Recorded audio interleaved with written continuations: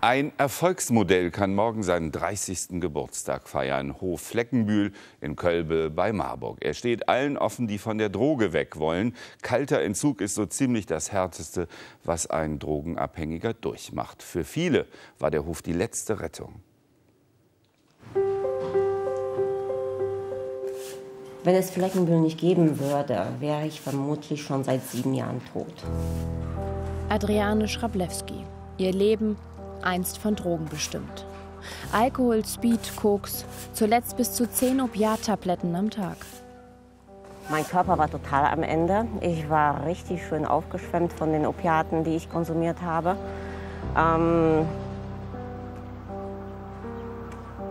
ich war nur noch am Zittern, viel am Brechen. Also ich hatte manchmal Phasen, wo wirklich gar nichts mehr ging. Sie verliert ihren Job als Bauzeichnerin. Entziehungskuren folgen. Wieder rein in die Sucht, zurück in den Entzug. Ein Teufelskreis, den sie erst auf Hof Fleckenbühl beendet.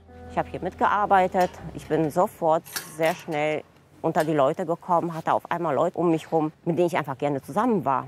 Und hatte auf einmal ein ganz anderes Leben als bisher.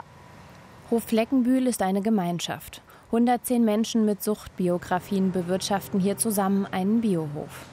Philipp Pietsch ist in der Käserei.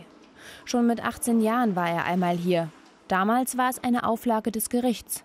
Danach ist der Junge aus Dresden wieder rückfällig geworden mit Cannabis und der Modedroge Crystal Meth.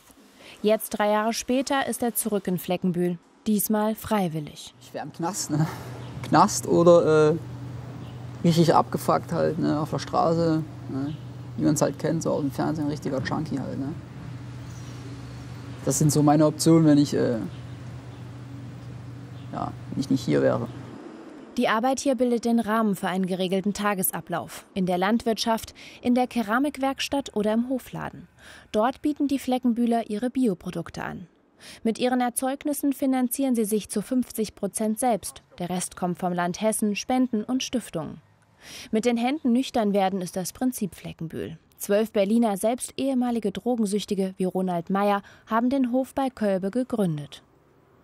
Wir glauben, äh, dass es, dass es wesentlich ist, dass man, wenn man beginnt, nüchtern zu werden, keine Drogen zu nehmen, äh, dass man etwas zu tun bekommt, was sinnhaft ist, was, äh, was mir persönlich sinnvoll erscheint.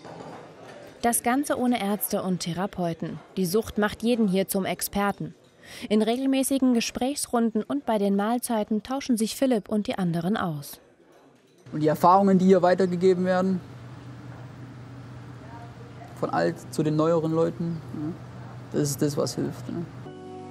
50 Prozent geben nach zwei Wochen auf. Adriane hat es geschafft. Sie ist sogar aufgestiegen. Von der Stallarbeit in die Verwaltung. Wenn sie heute die Fotos aus ihrer Drogenzeit sieht, ist ihr die Frau auf dem Bild fremd. Ich finde es furchtbar. Also ich weiß nicht, wie ich mich denn so weit habe bringen lassen können. Also es sieht schlimm aus und da möchte ich auch nie wieder hin. Adriane möchte ihren Job hier behalten bis zur Rente. In diesem Jahr feiert sie ihren neunten Clean-Geburtstag und am Montag auch Geburtstag von Hof Fleckenbühl. Seit 30 Jahren finden hier Menschen den Weg aus der Sucht. Ein guter Grund zu gratulieren.